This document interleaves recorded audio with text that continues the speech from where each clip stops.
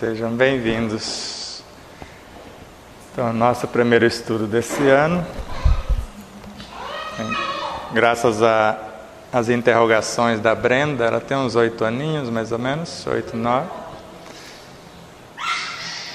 Então, ela viu que o número 3, 6 e 9 define praticamente tudo na criação divina. E essa pirâmide foi escolhida por conta desses três números. Nessa base aqui, 3, 6 e aqui é o 9. 3 vezes 3 dá quanto? 3 vezes 6, 18. 1 mais 8, 3 vezes 9, 2 mais 7. Então, sempre. E nós colocamos o 9 como o próprio Cristo. É o 3, a alma, e aqui a nossa consciência, de, de modo que ele é a essência que nutre e norteia a consciência, a pirâmide para nós simboliza a consciência. O olho, quando nós despertamos essa consciência. E Fibonacci fez uma sequência desses números, nós vamos colocar para vocês aqui a sequência dele e depois a explicação de um estudioso de física, de astronomia, de cosmologia. Aí vocês vão ver e depois nós vamos trocar ideias. Com como que é a criação divina. Tudo bem? Sejam bem-vindos. Deus criou todas as coisas conforme está na Bíblia? Foi criando cada coisa ao seu turno ou criou só uma coisa que dá origem a todas as coisas?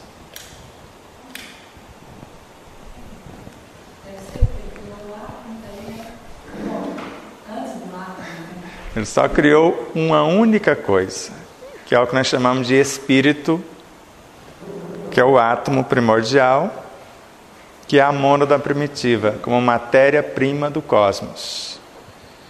E é esta energia, esses fascículos de luz, é que dá forma a todas as coisas, conforme vocês viram ali. Então, na natureza, repete os padrões que na matemática nós chamamos de fractais,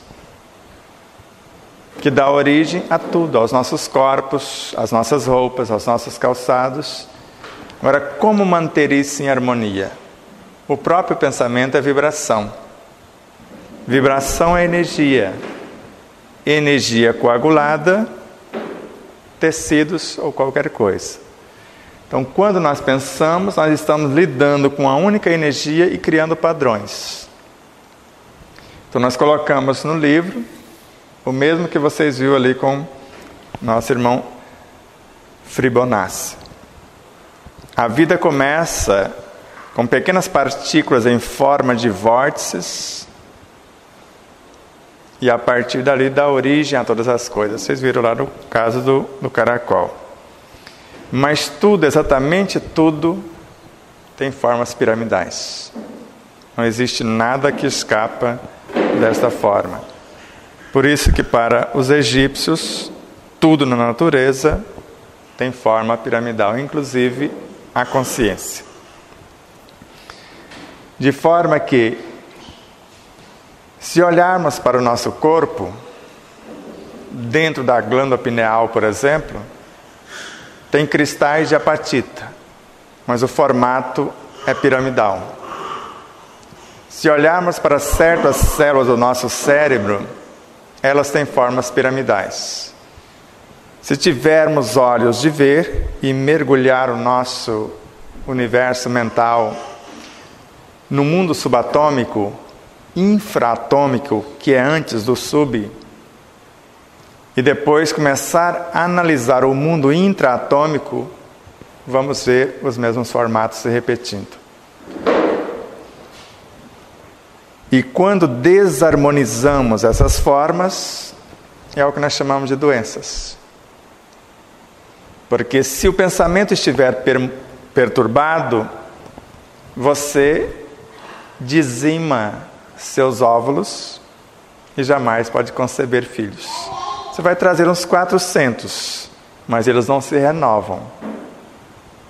Mês a mês eles vão chegando e o pensamento masculino, idem. Então ele vai deformar, assim como o feminino, ou matar as formas, no caso masculino, os espermatozoides. Isso é André Luiz na obra Missionários da Luz. Então, todas as vezes que eu penso em harmonia,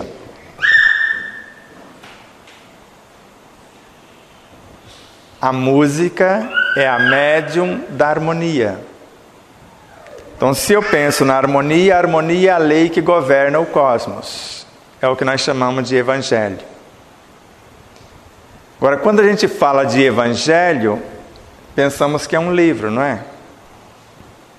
Evangelho é uma força tridimensional. Ela é vida, aqui o número 3, é vitalidade, o número 6, e lá em cima está a força que rege a vitalidade para a eclosão da própria vida. E quando queremos curar-nos de todas as feridas, se a mente harmoniza-se, sara-se todas as coisas. Porque a mente é o nosso dínamo criador, ou o nosso laboratório.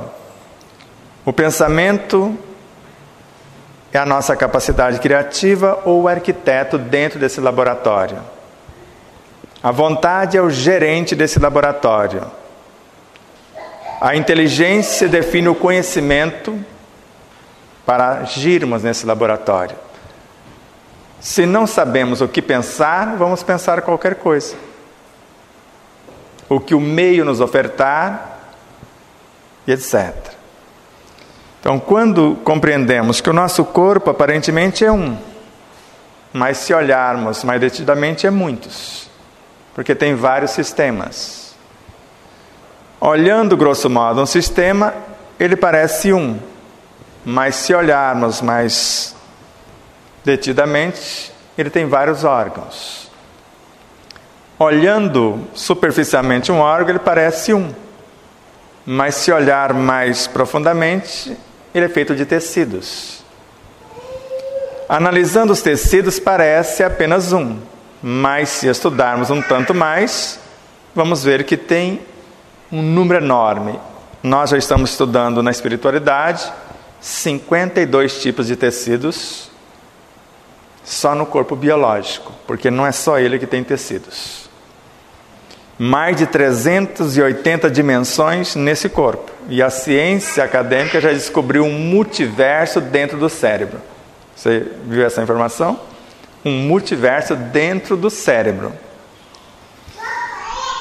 E quando olhamos para esses tecidos, vamos perceber que eles são feitos de coisas menores, que são as células. E se analisarmos, as células são feitas de moléculas. Se analisar as moléculas, são feitas de átomos. Se analisar um átomo, ele surge da energia nêutron, que se condensa no núcleo, se transmuta em próton e se metamorfoseia em elétron para dar origem à consciência do átomo. Mas se olharmos antes da energia nêutron, vamos ver o mundo subatômico, os quarks e todas as partículas subatômicas. Se quisermos entender a origem delas, elas nasceram da matéria mental. E a matéria mental do que nós chamamos de fluido cósmico ou universal. Só que quem dá origem a esse fluido é o espírito, o princípio inteligente do universo. Então eu fico tentando imaginar e os meus neurônios porque pensar consome energias. Às vezes, durante uma palestra de uma hora, eu chego a perder quatro massa física do meu corpo, quatro quilos de massa física. E alguém que quer emagrecer é só fazer palestra. Porque é um dinamismo irrefreável da mente comunicando com as células e a mente, dependendo da harmonia, ela gera o que nós chamamos de plasma.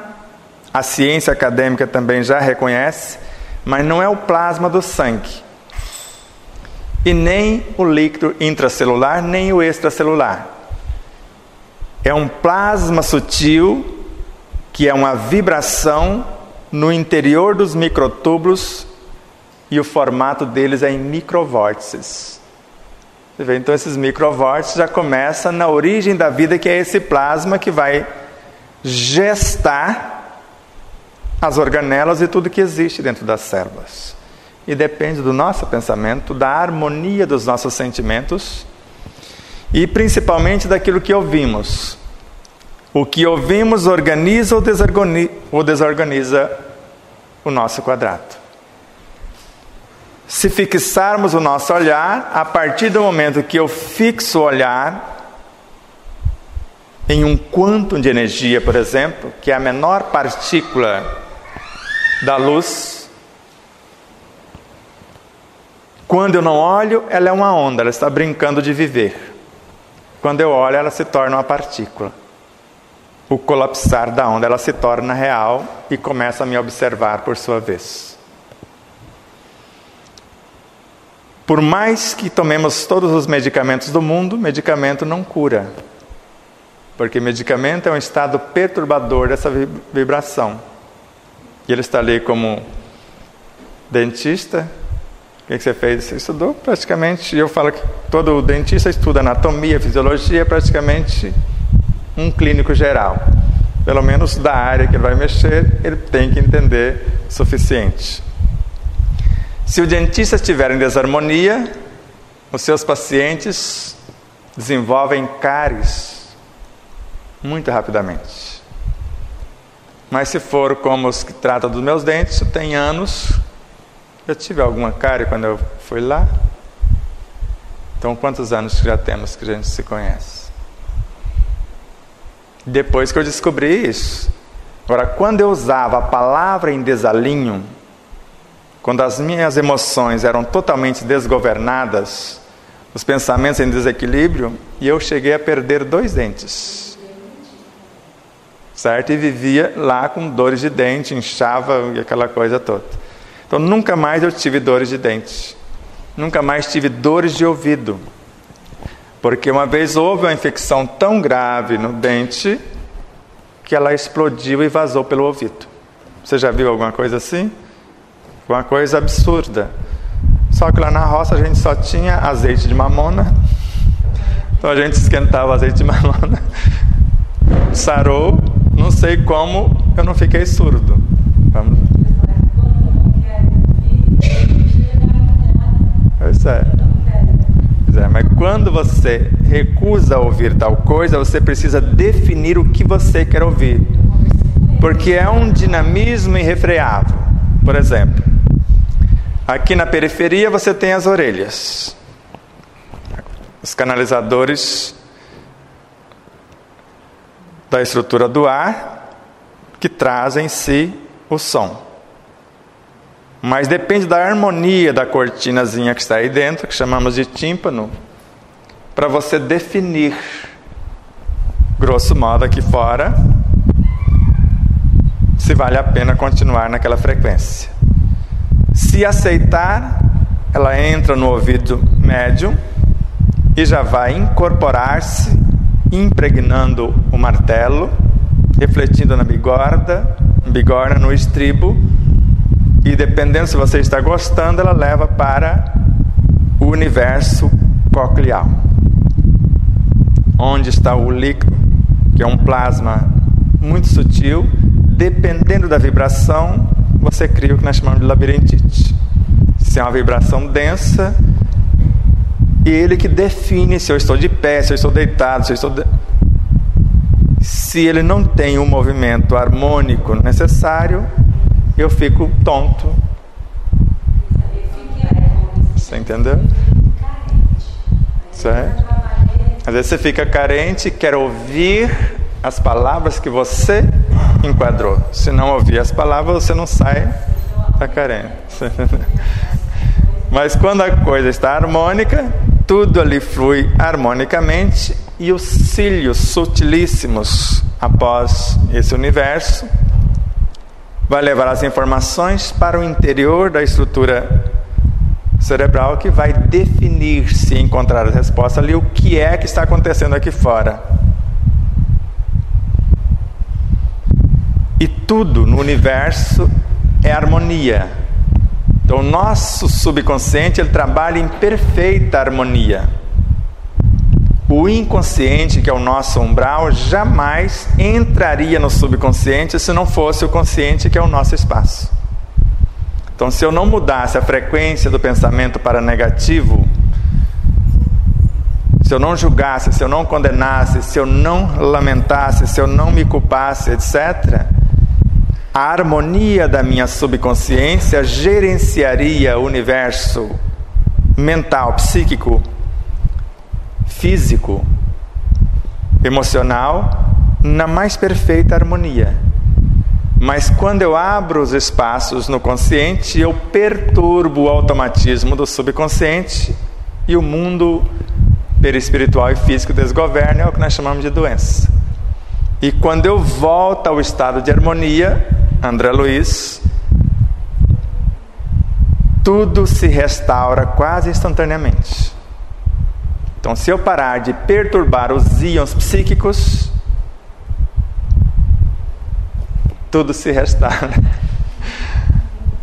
Aí nós não entendemos a vibração dos alimentos, porque alguém altera essa vibração para gerar vícios.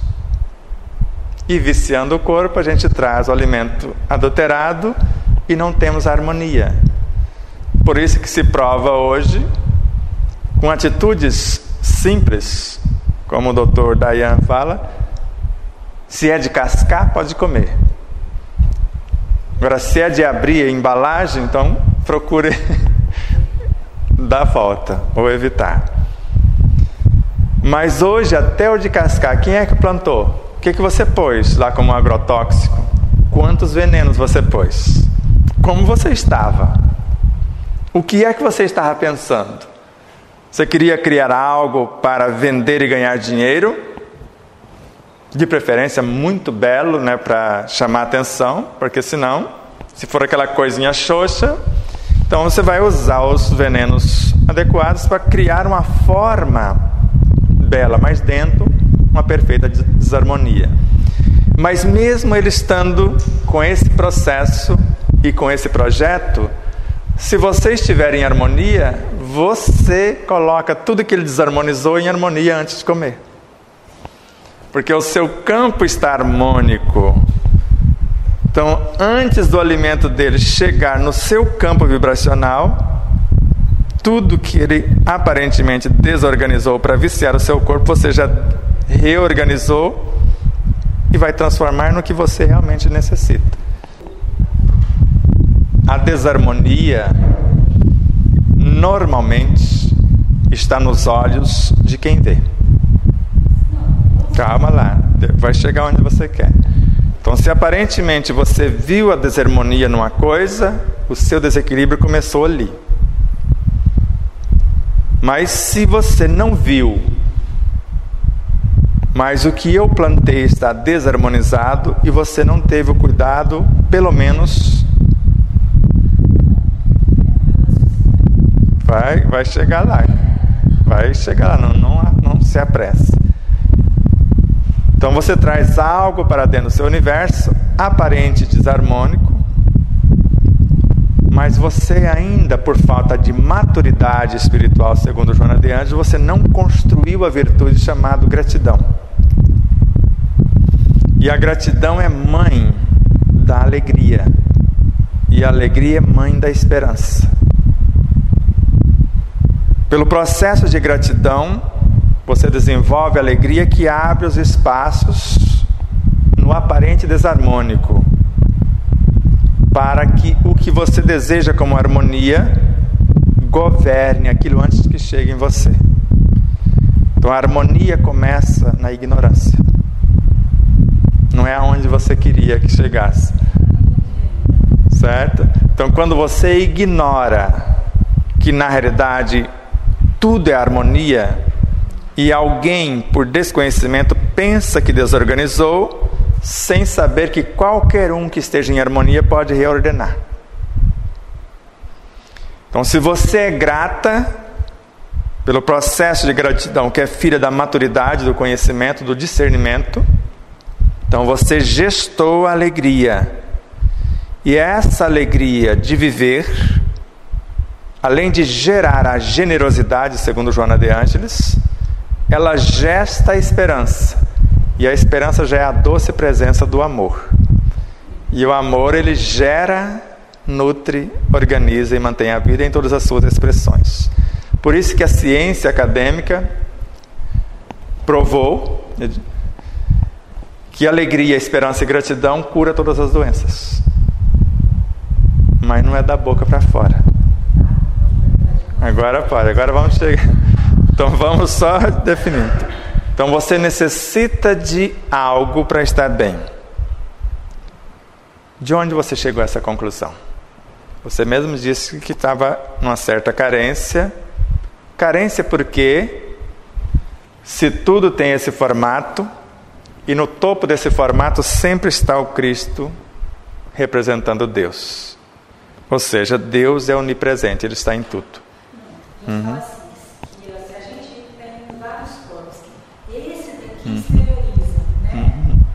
Eu sei, eu entendi exatamente. Você quer saber se começa de dentro para fora Certo? É Mas eu te dei todas as dicas. Você viu que pode começar no alimento. Pode começar de fora para dentro a desarmonia ou de dentro para fora. De fora para dentro, se alguém te prepara ou desorganiza uma coisa, você está distraída, você traz do jeito que ele. Porque você também está desorganizado. Então você não tem mecanismo ou vibrações harmônicas para reordenar aquilo. Então, do jeito que está lá, chega no seu espaço. Então, você pode desarmonizar-se com um simples alimento. E às vezes com um simples copo d'água. Eu estou em desarmonia, desarmonizo a água e te oferto. Você está distraída e não tão harmônica. A minha perturbação, porque a água é um elemento vivo. Vocês chegaram a prestar atenção quando ele fala que os números são seres vivos? Então tudo é vivo, então tudo vibra numa frequência. Então, dependendo da sua frequência, isso é um experimento científico que estão fazendo, um grupo recitando mantras, oração, meditação, eles entram em êxtase, aí colocam cascavéis para picá-los e o veneno torna-se inócuo. Comidas em decomposição não afetam seu organismo desequilibrando, por exemplo. Então, onde está a perturbação? Inicialmente, a fonte é dentro de harmonia ou de desarmonia, no nosso caso, porque se não está harmonizado dentro, o desarmônico de fora perturba um tanto mais. Por isso que o corpo pode gerar enfermidade na alma, se não cuidarmos dele. Com alimentação eu posso gerar o câncer, por exemplo, ou a ambiência para que ele ecloda. Ele é um bacilo psíquico, mas precisa de uma ambiência. Agora, se eu estou diabético, e não muda a ambiência, sara? Só porque eu estou tomando insulina? Às vezes a célula cria resistência à insulina, eu posso tomar. Por isso tem pessoas que começam com um comprimidinho, depois já vai para uma dose e vai indo e vai morrendo. Ele vai se decompondo até perder a vida. Então, quando nós entendemos isso e cuidamos simultaneamente, porque eu estou dentro e estou fora, não estou? O corpo físico não é uma expressão da consciência. Aqui é o efeito de você. Aqui está a sua causa. Aqui, aparentemente, você não está vendo, mas é a energia do seu íntimo, da sua consciência, que materializou-se. Agora não tem como dissociar o corpo da sua consciência. Se desarmonizar o corpo e essa consciência não estiver conhecimento suficiente, ela desarmoniza-se. E o corpo morre. Pode. A, a harmonia, a desarmonia pode ser restabelecida através de algo ou de outro, uh, ou ela é pura e exclusivamente uh, restabelecida dependendo do próprio ser, ou se ela apenas pode ser auxiliada por outro ou por algo. Vamos lá, por algo ou alguém, mais especialmente, somente tem autoridade para restaurá-la é o próprio ser.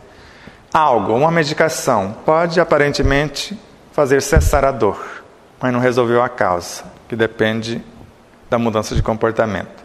Alguém, eu posso te dar um passe.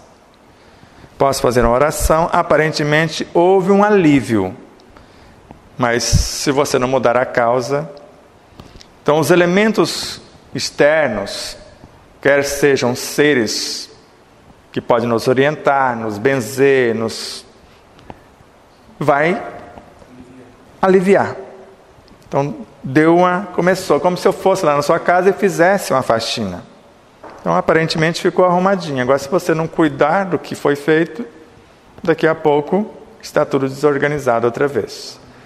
Por isso que a lei assim define. Eu estava escrevendo ainda essa semana. E onde Joana de Angeles fala que ela pode todos os seres tentar nos auxiliar, mas sem a nossa participação, não tem como. Porque normalmente alguém que nos auxilia, como um mecânico que pode reorganizar o seu carro, se você não aprende a dirigir mais adequadamente, que às vezes a sua maneira de conduzir o veículo, pois é, a minha maneira de conduzir o veículo, por exemplo, o Cruiser, por exemplo, faz 13 km com um litro de etanol na estrada. Mas eu tenho amigos que têm o mesmo carro e faz 9. Outros faz até 7. É o jeito de dirigir e a harmonia na direção.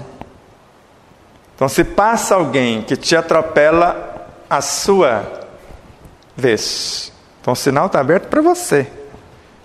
Mas o outro está apressadinho e você desarmoniza. Qual o carro que vai consumir mais combustível? O seu, não é o dele. Né? O dele já nem sabe qual carro que vai quebrar primeiro. Porque para ele ele está certo. Tecnicamente ele está em harmonia com o universo consciencial dele. Ele acha que é esperto. Ele não entende, por isso que eu falei que era ignorância. Só quando tiver o discernimento, aí que ele vai perceber a desarmonia. E não é só o carro, pode ser o computador, tudo à nossa volta começa a desorganizar quando a gente não está bem. Não é verdade? Então, quando o corpo está em desarmonia e uma energia diferente entra tentando auxiliar, às vezes instantaneamente, como você está sentindo agora, como se fosse um frescor um aparente alívio. E se você respirar e desejando essa harmonia, você vai perceber que o ar traz mais força pacificadora do que o que eu estou fornecendo para você. Porque o ar representa toda a natureza. Por isso que se estuda em yoga, os mestres de yoga, por exemplo, com a com a respiração, eles pacificam as emoções. Agora, com psicotrópicos, pacificamos as emoções. Às vezes trava até a nossa língua, né? E não pacifica. Agora, com a respiração, você tem feito isso? Disso um hábito? De manhã, olhando o sol, abraçando árvore. Tem árvore no seu quintal? Plantar uma árvore lá para ela abraçar. Não vai ser concorrente sua, não. É um coqueiro, né? Coqueiro não tem espinho, não é? Então tá. Aí abraça, porque ele está em contato com a terra. Então, o energismo das árvores, das plantas, da própria terra, o ar que respiramos, o sol, tudo vai ajudando-nos a reequilibrar. Só que esta harmonia que a natureza está fornecendo é diferente da harmonia do ser individual, porque é uma coletividade, uma coisa descomunal. Então, reequilibra muito mais rápido do que qualquer tratamento com paliativos, porque ali é uma reequilibração, um reequilíbrio real que você está buscando. Então, você se predispôs, uma boa música, a oração, um bom filme, alguma coisa que mude a frequência que nos motive para a vida, que traga entusiasmo, porque a gente perde o entusiasmo pela vida.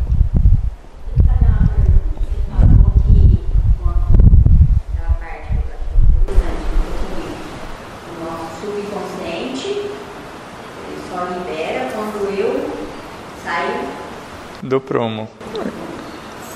Então, toda vez que aquele conceito que quando vem é para ser resolvido. Então vamos lá. E assim, outra coisa, já entrando nessa pergunta, é, é, você falou que vem do sul, né? Mas tem uma dúvida aqui, que você vê uma desarmonia que não sabem como dar. Uhum. Então, ele é desarmônico, ou, ou o meio que ele está inserido, ou ele traz também uhum. né, essa, essa confusão. Vamos lá. Quem assumiu o comando agora está nos novos programas que foram gravados, vocês vão ver algo diferente. Pega uma frigideira, imagina uma frigideira, vocês vão fritar um ovo. Agora quebra o ovo dentro da frigideira. Ele esparramou, Aparentemente, a gema ficou no meio, não ficou? Então, o meio seria a nossa essência, é o número 9, é o topo da pirâmide. Toda a clara é o nosso umbral, que a gente chama de inconsciente. O subconsciente é o meu setor de trabalho no processo encarnatório. Então eu escolhi algo da gema do ovo para gerenciar esse espaço que a gente chama de colônia espiritual. Você pode imaginar o nosso lar de André Luiz. Então, o que você está vendo dentro da estrutura da colônia nosso lar, o governador da colônia, a alma. Todos os demais serão as virtudes superiores à própria alma. A veneranda, o Clarencio, todos eles eram superiores ao próprio governador. E os resgatados do umbral, os seres com predisposição de mudança, que também está dentro do subconsciente. Então só entraram o que esses seres selecionaram. Lembra que quando eles iam buscar os, os assistidos, só resgatavam o ser que se predispunha? Às vezes jogavam uma rede fluídica, só quem tinha boa vontade conseguia, tinha força para segurar e ser pescado com essa rede, dependendo dos abismos onde estava. Não sei se você leu alguma coisa assim nas obras de André Luiz. Então, quem veio para a colônia está predisposto. Então, ele não vai criar desarmonia na colônia. Mas não ficou alguém na periferia? Porque, tecnicamente, a colônia está dentro do umbral.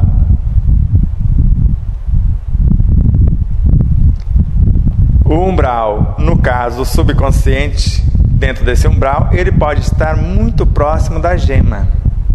Depende da alma e dos elementos que vão governar aquela colônia. Eles precisam ficar próximo da essência para não perder o equilíbrio, mas dependendo do seu cabedal, que é o exemplo que nós damos, nós escolhemos encarnar lá na periferia, lá no outro extremo, mas Durante milênios nos preparamos para isso. Por isso que eu falo, eu estou aqui nesse extremo e tudo que eu faço aqui, eu atravesso o umbral inteiro convidando o povo para ir lá para o superconsciente. Mas eu posso construir apenas algo muito próximo. Então vai depender da habilidade de quem vai governar o contexto. E no caso, inicialmente a alma e as virtudes, que seriam os ministros, que vão ajudá-la nessa governadoria. No caso lá da colônia Nosso Lar, vocês viram que por influência a própria colônia quando foi ser criada. Isso está lá claramente na obra Nosso Lar. Então, aqueles engenheiros de mentes quase divinas, que seriam as virtudes vindo da superconsciência para construir o espaço, entre meio àquela construção magnífica, os silvícolas, os elementos constituintes do umbral do inconsciente, construir algo no meio do, da construção deles. Então imagine quando a gente vai pensar, mesmo em perfeita harmonia, não aparecem pensamentos perturbados? Agora, eles não pararam para dizimá-los, para expulsá-los, porque sabiam que eles eram filhos de Deus também. Se eles cuidassem da, do joio, eles perderiam o trigo. Então, eles não perderam a sua atenção. Continuaram cultivando o trigo e o próprio trigo ia transformando o joio. Mas houve época que a colônia desequilibrou, desequilibrou? Mesmo os que lá estavam, que já se alimentavam só do ar que respiravam, da luz, da água, já tinha gente trazendo até carne para fazer churrasco lá. E levou mais de quatro décadas para reharmonizar, graças à presença de 200 técnicos de outra dimensão, quer dizer, da gema do ovo, que veio para ajudar aquela equipe que, mesmo estando lá veneranda, na regência do ministério da união divina, a única que viu Jesus, a superconsciência, a gema do ovo pessoalmente, mesmo ela estando lá, não conseguiu harmonia. Precisaram assistência de uma equipe de 200 especialistas, com certeza superiores a todos eles que estavam lá, porque senão não tinha não tem sentido vir alguém se ali já tem alguém superior. Então, quando nos falta capacitação, onde desarmoniza. Então, a alma ela experienciou na estrutura de uma árvore, mas ela é apenas uma semente agora. Ela ainda não sabe ser árvore. Por isso que Joana de Anjos fala: quando essa alma adquire um processo de maturidade, agora ela cria a gratidão, que é uma de suas virtudes. Antes tinha virtudes ali ajudando-a. Agora ela começou a criar os seus com o exercício da virtude, ela cria a alegria, que cria a generosidade, que cria a esperança e vai dando sequência. Porque quando uma célula é fecundada, ela vai multiplicando-se, criando os órgãos, criando sistemas e etc., criando o corpo. Ficou muito confuso? Então você pode ver que cada um tenta, estou imaginando ali o que nós passamos, enxergar Deus na natureza. Como que ele fez essa arquitetura? Porque você olha para a repetição de certos padrões, você pega determinada árvore, vai repetindo o padrão nas folhas, nos galhinhos, até formar. E você vai em Minas Gerais, lá onde eu nasci, que eu estive lá agora em dezembro. Qual o seu nome? Leandro ele é o cara para fazer as matrizes do alho para a gente poder plantar o alho roxo. Mas aí a Silvana vai plantar o alho. Ele te deu alho roxo. E quando você planta, ele fica branco. Você, o seu nome? A Maria está do seu lado, divisa, o dela fica roxo. Está acontecendo isso em Minas Gerais, na minha terra. E não é só isso que está acontecendo lá. Tem um moço que tem uma, vamos falar assim, uma lavoura lá de uma floresta de, de pé de mangas e ele colhe mangas o ano inteiro. E aí perguntaram para ele, mas qual? Você planta cada uma numa época? Não, eu converso com elas. Ele passa e define as fileiras, vocês vão produzir tal mês, vocês tal mês, e todos os dias vão, vai lá conversar. Agora tem um outro moço que deu origem até um Globo Rural, foi lá, a Embrapa ajudou, mas os abacates que ele produz é diferente de todos os concorrentes. Só que os donos, todos os dias, vai na mão de cada um dos funcionários e aperta e agradece. E o primeiro dinheiro é para o seu salário. Se sobrar, vai investir na empresa. Mas o primeiro. Então, qual o segredo? E o outro tem a mesma indústria, mas não gosta de gente, não gosta de fornecedor etc. Um produto de má qualidade. E o produto dele tem resistência, não sei quantas vezes maior do que o produto do outro. Pega o abacate lá do outro, pode durar três dias, e o dele vai durar 15 dias, por exemplo. Então, essa harmonia, então eles desenvolveram um estado de justiça, de solidariedade, fraternidade, eles não se acham maior do que os funcionários. Se acham uma grande família e trabalham em harmonia. Então chega o motorista para carregar, ele é tratado com todo respeito, com todo carinho, com toda harmonia, porque é um parceiro sem o motorista, sem o caminhoneiro, não vai levar. Então todo mundo tem valor. Ele procura respeitar a natureza.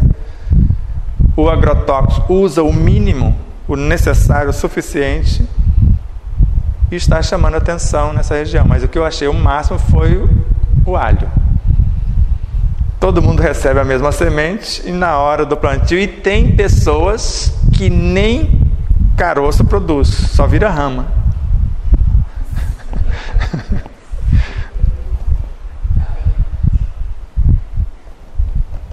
Então, que a harmonia que nós desejamos para as nossas mentes neste instante,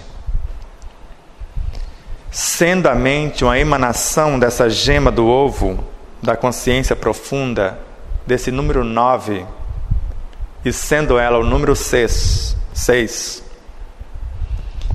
e os veículos de expressão, o 3,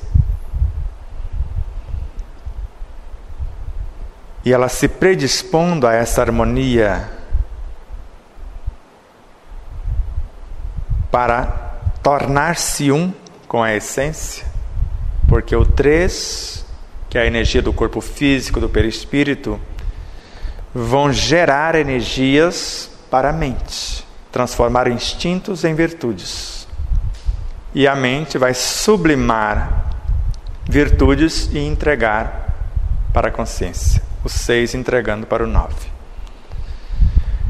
E esse Deus em nós, esse Cristo em nós, representado pelo nove, vendo o esforço do seis, do três, ou vendo o nosso esforço individual, com certeza, Ele que já existe em nós porque é onipresente, é onisciente, sabe tudo a nosso respeito, e é onipotente, pode multiplicar as possibilidades.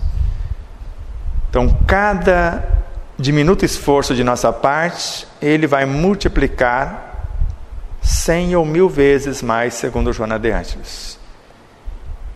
E se a minha intenção é harmonizar o universo mental, pensamentos, sentimentos, a imaginação, palavra mentalizada ou verbalizada, tudo na sequência se harmonizará. Quem comigo não se ajunta, espalha, espalha, disse Jesus. A vibração de um pensamento, segundo Leon Denis, de um sentimento, de uma palavra, repulsa tudo que for contrário a essa vibração e atrai tudo que for semelhante. Se eu estiver em desarmonia e pensar na harmonia, segundo Miramês, eu me transformo em segundos numa fonte de harmonia. Se eu estiver desesperado e centrar a minha atenção na esperança, eu transformo o desespero em pouquíssimo tempo em esperança. E assim com as demais coisas. Se a paz do mundo começa em nós, desejamos a construção dessa paciência, a ciência da paz, que vai gestar a autoconfiança, que vai gestar mais paciência e assim sucessivamente, conforme Joana de Ângeles. Inspirem, trazendo a natureza para dentro de si e expirem colocando a própria natureza a serviço da natureza maior. Deus nos abençoe com as oportunidades de trabalho no bem, que o Cristo nos fortaleça no ideal do amor, da verdade e da justiça e que possamos sermos ou desejarmos ser os mais saudáveis mais harmônicos, mais felizes, mais pacíficos seres da criação em Deus. Que assim seja.